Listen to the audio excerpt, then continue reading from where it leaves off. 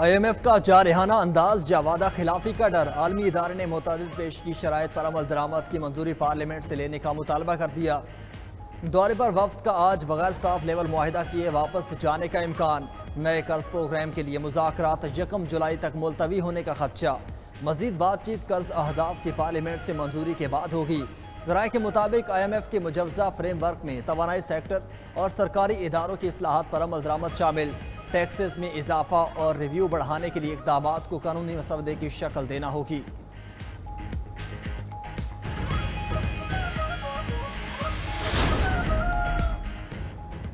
IMF ने पाकिस्तान के कर्जों में दस हज़ार चार सौ तैंतीस अरब रुपए इजाफे का खदशा ज़ाहिर कर दिया। आइंदा माली साल हुकूमती कर्जा बढ़कर सतासी हज़ार तीन सौ छियालीस अरब रुपए पर पहुँचने का इम्कान। एक साल में हुकूमत का गैर मुल्की कर्जा बढ़कर तैंतीस हज़ार छह सौ अड़तालीस अरब रुपए होने का अंदेशा। मकामी कर्जा भी बढ़कर तिरपन हज़ार आठ सौ अठहत्तर अरब रुपए हो सकता है। पाकिस्तानी हुकाम भी मुल्की और बैरूनी कर्ज में इजाफे का इम्कान ज़ाहिर कर चुके।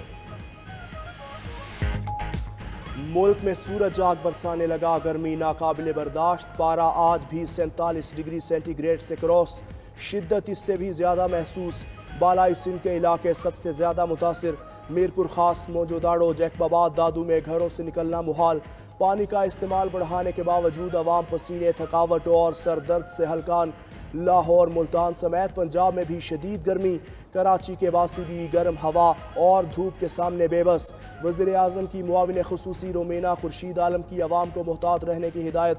बोली, ग्लोबल वार्मिंग के बायस हीट वेव शुरू हो चुकी। 28 मई तक गैर ज़रूरी सफ़र से गुरेज करें। बीमार अफराद घरों में ही रहें। बालाई इलाकों में भी गर्मी में इजाफा। एन डी एम ए ने जुलाई और अगस्त में मामूल से ज़्यादा बारिशें होने का इम्कान ज़ाहिर कर दिया। गर्मी के साथ लोड शेडिंग की भी इंतहा। शहरी दोहरी अजियत में मुबतला।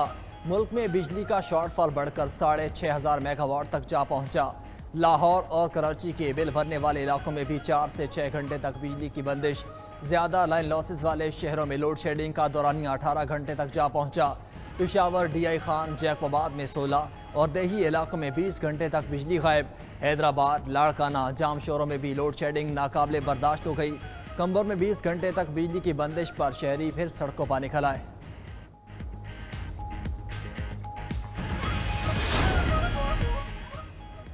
वज़ीर अजम शहबाज शरीफ काबीना के अहम वजरा के साथ मुतहदा अरब अमारात पहुँच गए। अबू धाबी में नायब सदर और वज़ीर अजम शेख मंसूर बिन जैद अल नहान ने इस्तकबाल किया। वज़ीर अजम की सदर U A Sheikh Mohammed bin Zayed से मुलाकात होगी। तिजारत और सरमाकारी पर खसूसी बातचीत और दो तरफा ताल्लुक पर बात होगी। शहबाज शरीफ की आलमी मालियाती इदारों के सरबराहान से भी मुलाकातों का इम्कान।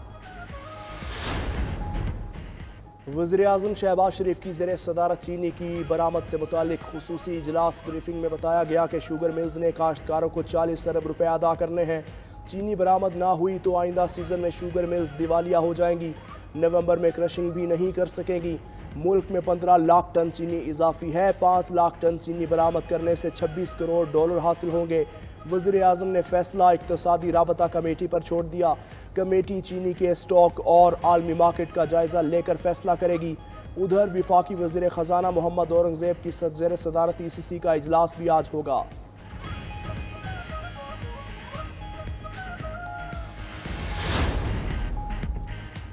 कौम जो बिजली इस्तेमाल ही नहीं करती, उसके भी अरबों रुपए भरती है। एक आईपीबी ने एक मेगावाट बिजली नहीं बनाई और 28 अरब रुपए का मुनाफा कमा लिया। अमीर जमात इस्लामी हाफिज नईम की तनकीद। बोले हुक्मरानों और ब्यूरोक्रेट्स की आयाशियाँ ख़त्म नहीं हो रही और कर्ज पे कर्ज लिया जा रहा है। प्रॉपर्टी लीक्स पर इलेक्शन कमीशन के नोटिस ना लेने पर भी इजहार तशवीश। दुबई के असासे ज़ाहिर ना करने वालों को फौरी नाअहल करने का मुतालबा।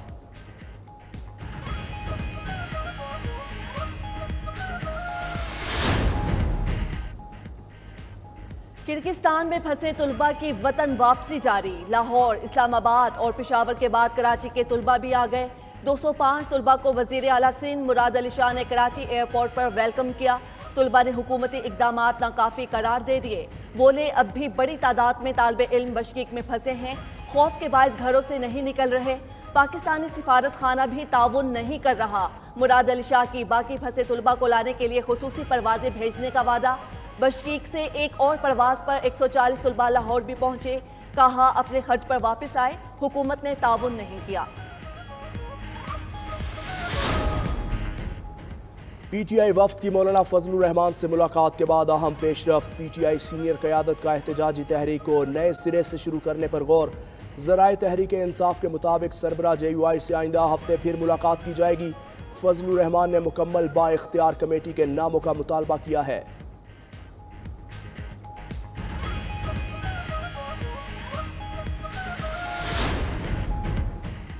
स्टैब्लिशमेंट से मुजाकरात की ख्वाहिशमंद पार्टी के साथ मामला आगे नहीं बढ़ सकते। रहनमा पीपल्स पार्टी खुर्शीद शाह का कहना है मामला को सुधारने का वाद रास्ता पार्लियामेंट है।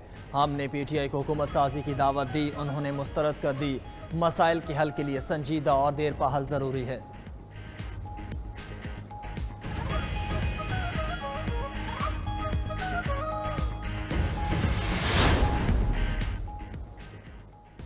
वज़ीर अला पंजाब मरियम नवाज़ से एशियाई तरक्याती बैंक के हुकाम की मुलाकात। पंजाब में डेवलपमेंट और आवाम की फलाह बहबूद के लिए मिलकर काम करने पर इतफाक वज़ीर अला पंजाब मरियम नवाज़ का कहना था कि आवाम की फलाह बहबूद का हर शोबा मेरी तरजीह है।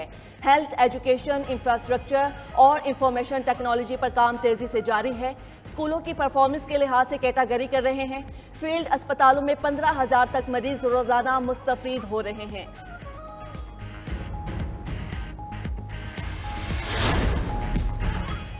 वज़ीर दाखिला मोहसिन नकवी ने पासपोर्ट पर शादीशुदा खातून के वालिद या शोहर के नाम के इंदराज के मामले का नोटिस ले लिया। कमेटी कायम कर दी। कहते हैं, शादीशुदा खातन की सहूलत और आसानी को मद्देनज़र रख कर सिफारिशात तैयार की जाएँ। कवायद जवाबित के तहत मसले का फौरी हल निकाला जाए। पासपोर्ट पर शादीशुदा खातून के वालिद या शोहर के नाम के इंदराज के मामले का नोटिस ले लिया। पैमरा का कोर्ट रिपोर्टिंग पर पाबंदी का इकदाम लाहौर हाईकोर्ट में चैलेंज। समरा मलिक एडवोकेट ने लाहौर हाईकोर्ट में दरख्वास्त दायर की। पैमरा विफाकी हुकूमत और सेक्रेटरी इन्फॉर्मेशन को फरीक बनाया गया।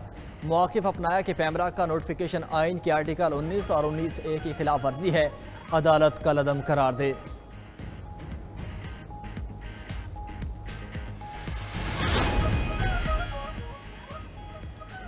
पी एफ़ यू जे हत्या के इज़्ज़त बिल के खिलाफ सिरापा एहतजाज। गवर्नर पंजाब से बिल मंजूर न करने और असम्बली को वापस भेजने का मुतालबा। Secretary P F U J Rana Azeem ने मुरासले में लिखा कि हत्या के इज़्ज़त कानून आइन के आर्टिकल 19 के मनाफी है। गवर्नर बिल को मंजूर किए बगैर असम्बली वापस भिजवाएँ। उधर हत्या के इज़्ज़त के मुतनाज़ा बिल के खिलाफ पंजाब बार कौंसिल की आज हड़ताल।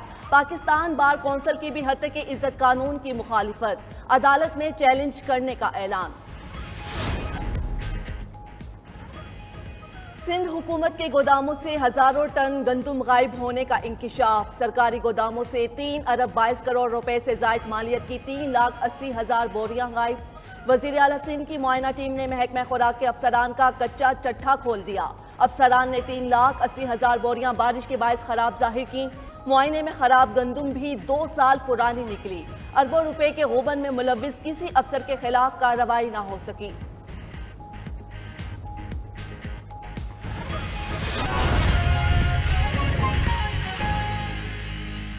District and session court Islamabad ने इद्दत निकाह केस में बानी पीटीआई और बुशरा बीबी की सजाओं के खिलाफ अपीलों पर फैसला महफूज कर लिया ये फैसला कब सुनाया जाएगा? साकिब बशीर हमें बताएँगे। साकिब ये महफूज फैसला कब सुनाया जाएगा?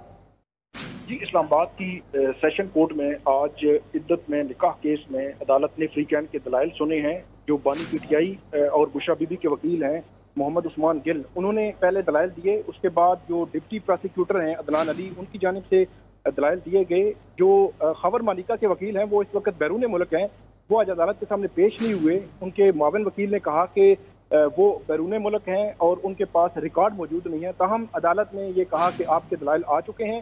अदालत ने सेशन जज शाहरुख अर्जमन ने फैसला महफूज कर लिया है और ये फैसला उनतीस मई को सुनाया जाएगा। जी। ठीक है साकिब बशीर आपका शुक्रिया।